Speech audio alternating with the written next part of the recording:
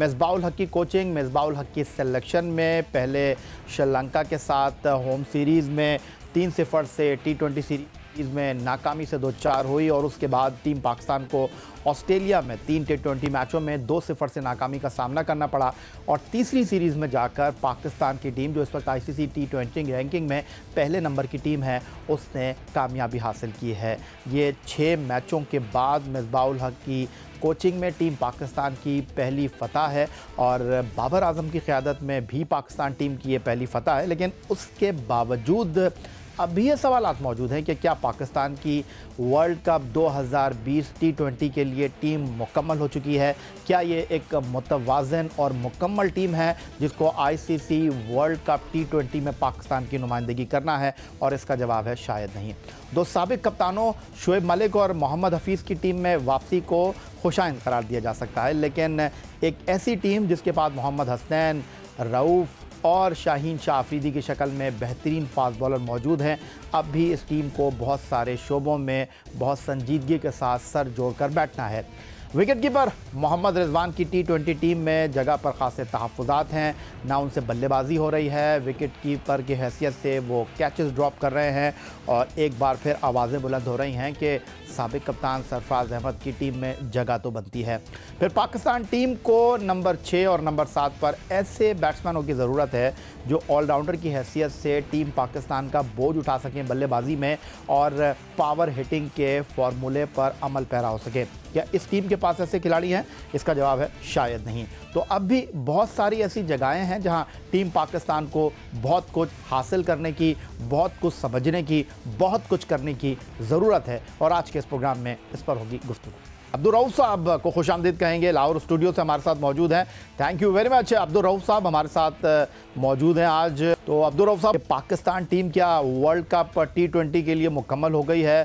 آپ سمجھتے ہیں کہ یہ سوال درست ہے یا آپ سمجھتے ہیں کہ نہیں؟ اب یہ ٹیم ایسی ہے کہ اس کو آپ کھلاتے رہیں اور آسٹریلیا اس ٹیم کو لے کر اڑ جائیں۔ کیا کہیں گے؟ دیکھیں، جس طرح کہ لاسٹ چیمپئن ٹرافی میں ہماری جو ٹیم تھی، وہ کافی سٹرونگ ٹیم تھی۔ مگر اس کے بعد جو آپ نے یہ دونوں پلیئرز شامل کیے ہیں جو بنگلہ دیش کے خلاف محمد حفیظ اور شعیب ملک، یہ چیمپئن ٹرافی کی ٹیم میں بھی موجود تھے۔ مگر پاکستان کی جو چیمپئن ٹرافی میں پرفارمنس تھی، وہ اس کو آپ اپ ٹو مارک نہیں کہہ سکتے۔ اس کے بعد آپ کی چینجز ہوئی آپ نے کیپٹن کو بھی ڈراپ کیا، شعیب ملک اور حفیظ کو بھی ٹیم سے ڈراپ کیا۔ اور نئے لڑکوں کو چانس دیا۔ اب ہونا تو یہ چاہیے تھا کہ جو آپ نے سینئر پلیئرز ٹرائی کیے، ان کو ایکولی ایکول بیسس پہ چانس دیے جاتے۔ اگر آپ نے شعیب ملک اور حفیظ کو چانس دیا تو آپ کو سرفراز احمد کو بھی واپس لانا چاہیے تھا اور کامران اکمل کو بھی واپس لانا چاہیے تھا۔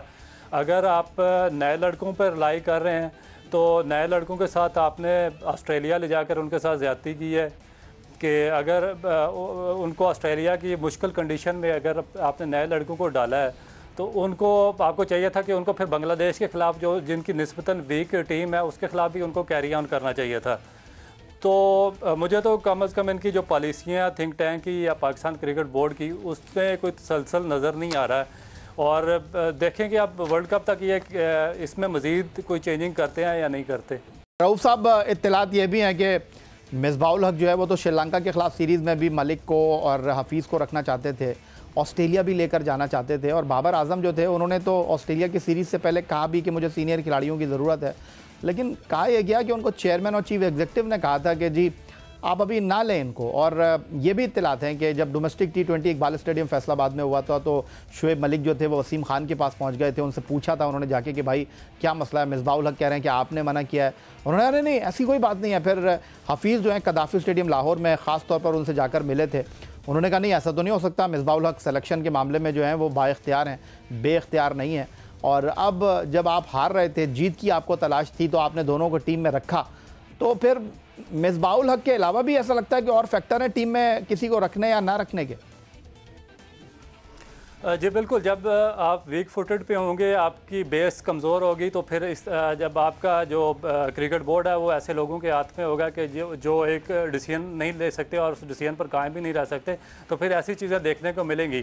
کیونکہ ہم پاکستان کرکٹ بورڈ کو ایک ایسا ادارے کے طور پر جانتے ہیں جو پچھلے ساٹھ سال سے کام کر رہا ہے اور ایک ایسا اسٹیبلش ادارہ ہے کہ جس میں پاکستان دو ورلڈ کپ بھی جیت چکا ہے۔ تو اس کی پالیسیاں ایسی ہونی چاہیے کہ وہ نظر آنی چاہیے اور اگر وہ کوئی سٹیپ لیتا تو وہ ایسا سٹرونگ سٹیپ ہو تاکہ پھر اس پہ سٹینڈ کر سکیں یہ نہیں ہے کہ آپ نے کل کوئی اور پالیسی بنائی، آج اس کو چینج کر کے کل آپ دوبارہ اپنے وعدوں سے پھر گئے۔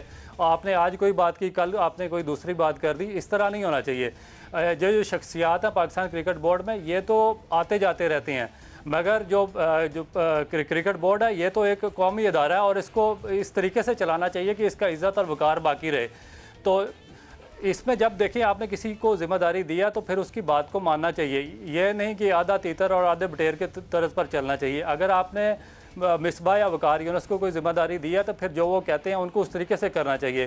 اگر آپ نے فائننس کی کسی کو ذمہ داری دی ہے، تو اس کو وہ اس ڈپارٹمنٹ کو ڈیل کرنے دینا چاہیے۔ اگر کسی کو آپ نے سلیکشن کی دیا تو اس کو سلیکشن کو ڈیل کرنے دینا چاہیے۔ اگر کسی کو ڈومیسٹک کی دیا تو اس کو ڈومیسٹک کو ڈیل کرنے دینا چاہیے۔ یہ نہیں ہے کہ پھر آپ ایک ذمہ داری بھی دیں اور پھر اس قابل بندہ نہ اور پھر دوبارہ انٹرفیئر کرنا شروع کر دیں، تو پھر ایسی ویک چیزیں دیکھنے میں آتی ہیں اور ایسے لوپس پھر نظر آتے ہیں۔ پاکستان کے former test fast bowler Abdul Rauf sahab Lahore studio سے ہمارے ساتھ موجود ہیں۔ لیکن فی الحال ہم چلیں گے ہیوسٹن۔ ٹیلی فون لائن پر ہمیں جوائن کر رہے ہیں کرکٹ ایکسپرٹ، تجزیہ کار ڈاکٹر کاشف انصاری صاحب۔ خوش آمدید دیں گے ڈاکٹر صاحب آپ کو اور رعوف صاحب لاہور اسٹوڈیو سے ہمارے ساتھ موجود ہیں۔ کس طرح دیکھ رہے ہیں آپ پاکستان ٹیم کی اس فتح کو؟ میں عبدالروف سے بات کر رہا تھا کہ ان دو میچوں میں کامیابی کے باوجود ہم یہ نہیں کہہ سکتے کہ ورلڈ کپ دو ہزار بیس کے لیے ہم نے اپنے اسکواڈ کو حتمی شکل دے لی ہے۔ اب بیس ٹیم میں بہت زیادہ گنجائش موجود ہے۔ السلام علیکم، بہت شکریہ یار بھائی، ہمیشہ کی طرح میرے لیے بڑی عزت کی بات ہے کہ میں آپ کے پروگرام کا حصہ ہوں۔ اور صحیح، بالکل صحیح کہا، ابھی یہ ورلڈ کپ ٹوینٹی ٹوینٹی تو ان کی نظروں میں ہے ہی نہیں۔ ان کی نظروں میں صرف اور صرف بنگلہ دیش کی سیریز کسی بھی قیمت پر کسی بھی طرح سے جیتنا ہے تاکہ اپنی نوکریوں کو پکا کر لیں۔ اس کے آگے ان کا ویژن ہے ہی نہیں۔ اگر اتنا ویژن ہوتا تو پیارے بھائی، بہت ساری چیزیں مختلف انداز سے ہوتی۔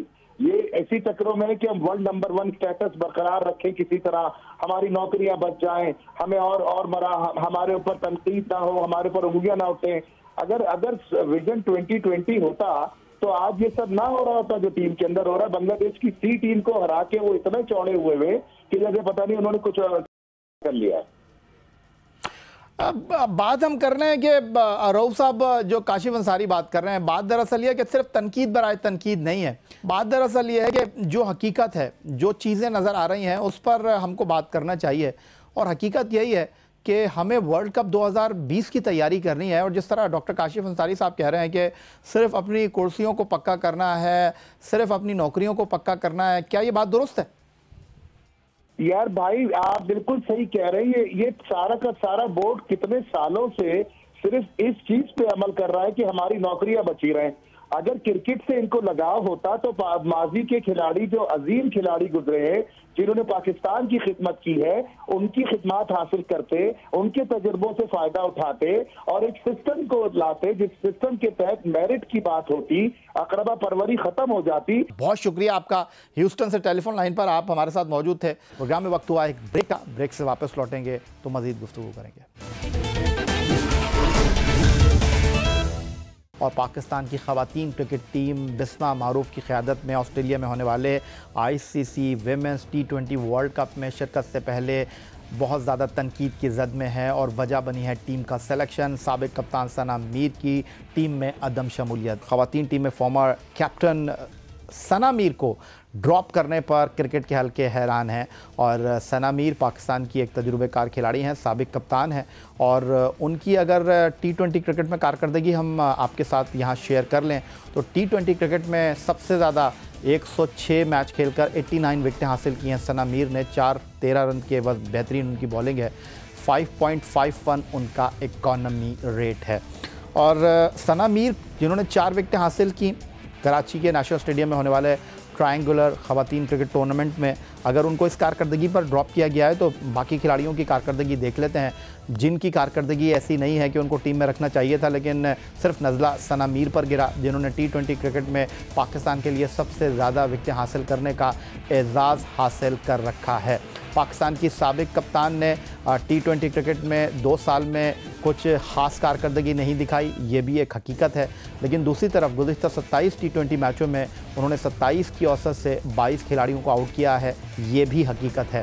لیکن ثنا میر دو ہزار انیس میں ٹی ٹوینٹی میں آٹھ وکٹیں لے کر سال کی تیسری کامیاب بولر قرار پائی تھیں، یہ بھی حقیقت ہے۔ اور گزشتہ سال چھ میچوں میں پانچ وکٹیں لینے والی فاسٹ بولر ڈائنا بیگ اور چار وکٹیں لینے والی سادیہ اقبال بھی ٹیم میں شامل ہیں۔ اب ہمارے ساتھ ٹیل فون لائن پر جناب موجود ہیں پاکستان کی former test wicket keeper Pakistan کے لیے ایک ٹیسٹ تیراسی ون ڈے انٹرنیشنل اور پینتالیس ٹی ٹوینٹی کھیلنے والی بطول فاطمہ۔ ان کو پروگرام میں شامل کریں گے۔ عبدالروف صاحب لاہور سے ہمارے ساتھ موجود ہیں۔ جی بطول کھلاڑی تو چاہتی تھی کہ ثنا میر کے جو تجربہ ہے، اس سے استفادہ کیا جائے، لیکن چیف سلیکٹر نہیں مانی۔ اور یہ فیصلہ آپ کو لگتا ہے کہ میرٹ کی بنیاد پر ہوا ہے؟ آپ کو لگتا ہے کہ یہ زبردستی کا فیصلہ ہے؟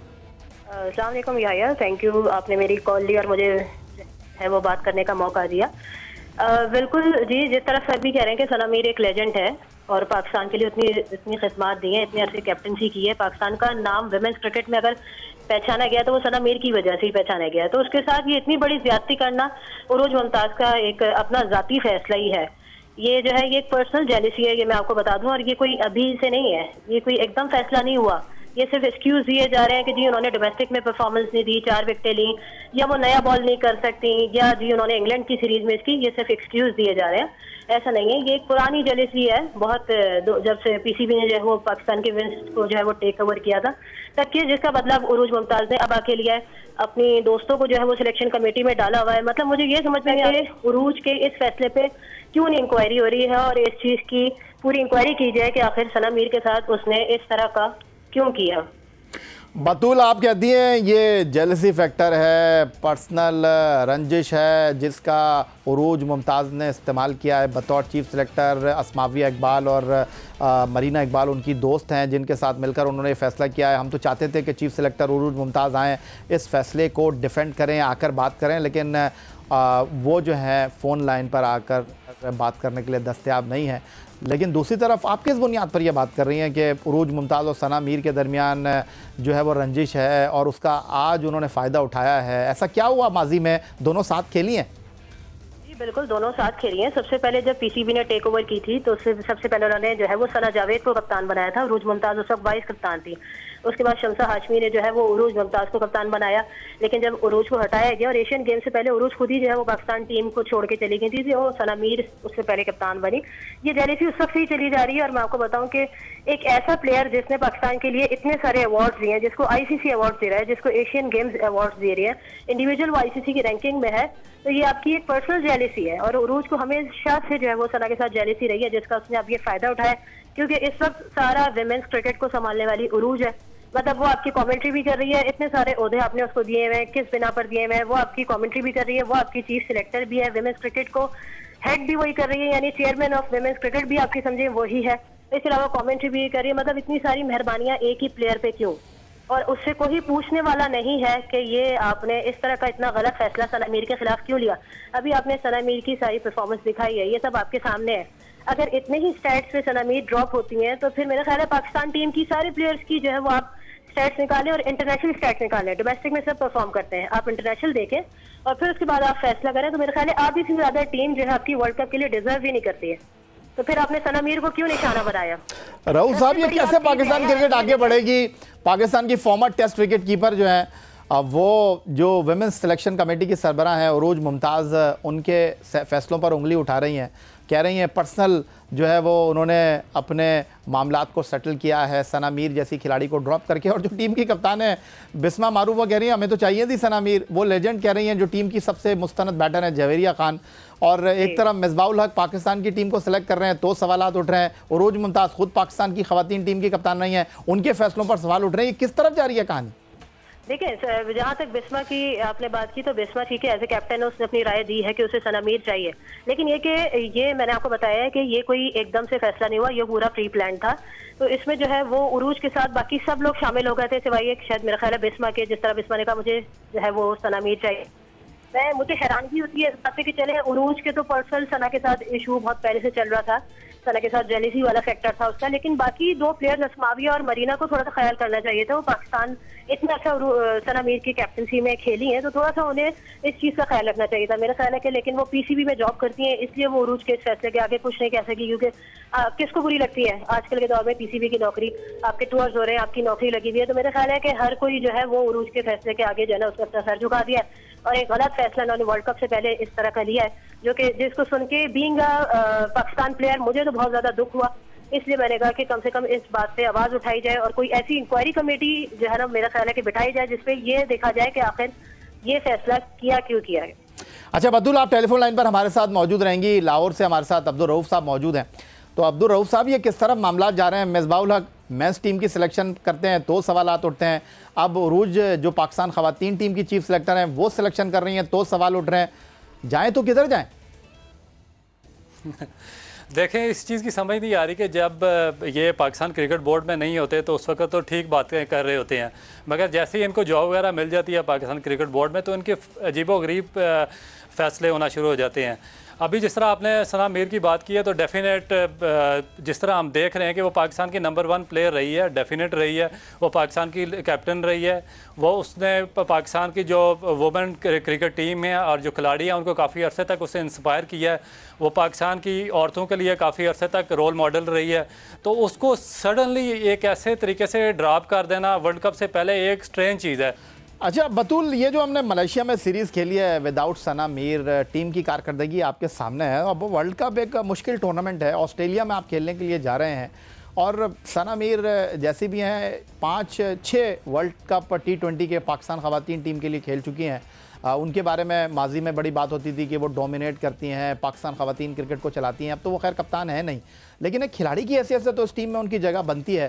کیونکہ اگر آپ بات کرتے ہیں بگ بیش میں ندا ڈار کھیلی ہیں، لیکن ان کی تو ٹرائنگولر کرکٹ ٹورنامنٹ میں کوئی خاص کارکردگی نہیں رہی ہے۔ انگلینڈ کی خلاف ملائشیا میں ان کی کارکردگی سب کے سامنے ہے۔ تو آپ اس کو کس طرح دیکھ رہی ہیں؟ ورلڈ کپ میں وداؤٹ ثنا میر آپ کی ٹیم کتنے محفوظ ہاتھوں میں؟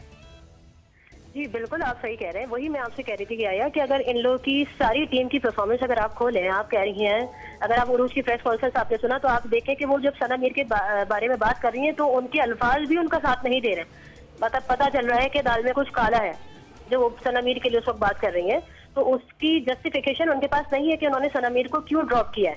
بہت شکریہ آپ کا عبدالرعف صاحب، پاکستان کے former test fast bowler Lahore سے ہمارے ساتھ موجود تھے۔ بہت شکریہ آپ کا بطول فاطمہ، پاکستان کی فارمر ٹیسٹ وکٹ کیپر ہمارے ساتھ ٹیلی فون لائن پر موجود تھیں۔ دونوں کی گفتگو آپ نے سنی۔ یہی آج کا ہمارا یہ پروگرام تھا۔